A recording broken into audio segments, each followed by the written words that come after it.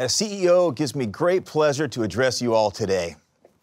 Our company is driven by a singular purpose to make a positive impact on the lives of people around the world. We have always believed that by providing innovative solutions and exceptional service, we can make a difference.